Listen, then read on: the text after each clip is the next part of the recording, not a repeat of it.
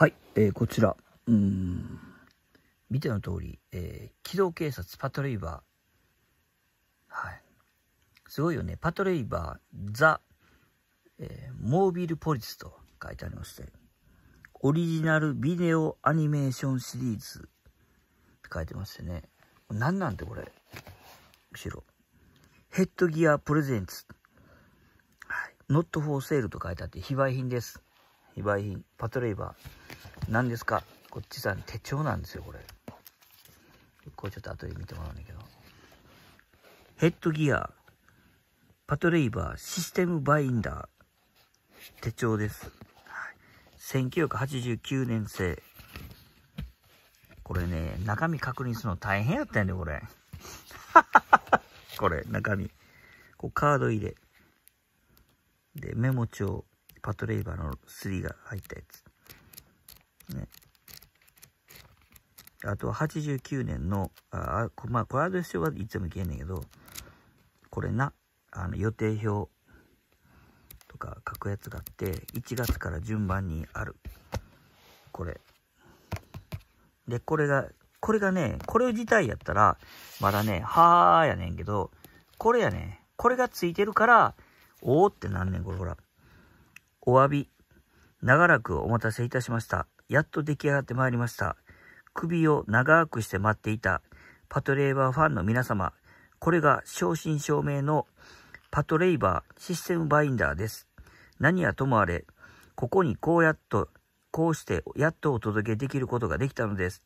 本当にお待たせして誠に申し訳ございませんでした。これからもパトレイバーをよろしくお願いいたします。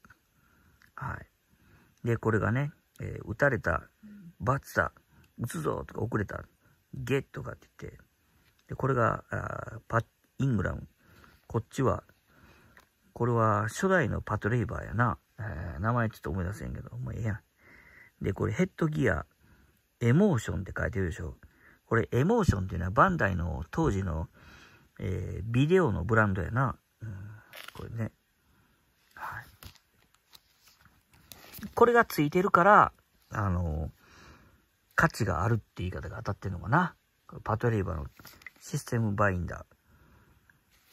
まあ、これあの、カレンダーのとこだけ変えてたらずっと使えねえけど、今時使う人おれへんよな。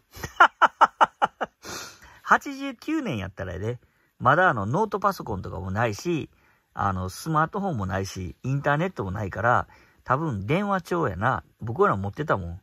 お客さんの電話番号を書く電話帳と、あいうえお順の電話帳と、あと、手帳ね。社会人の基本やからって手帳。えっと、あと、あれやな、書くもん挟むやつがあって、やねんけど、当時こういうのが流行ったのよな。まあこれ景品価値で言うたらね、おそらくやけどまあ数百円はしないな。数百円しない。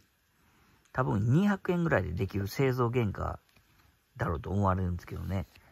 まあこれはまあ持ってて、あのー、ちょっとええやんっていう人ね、パトレイバー好きな人なんかが、あの、非売品やからって持ってて、えー、ちょっと喜ぶやつがこのシステム手帳でございます、これ。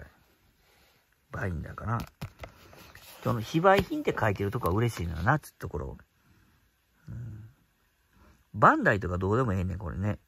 ヘッドギアっていうとこがね、ちゃんとそのコミックの原作グループが、あの、著作権持ってるところも、一つポイント高いですね、これ。はい、これ。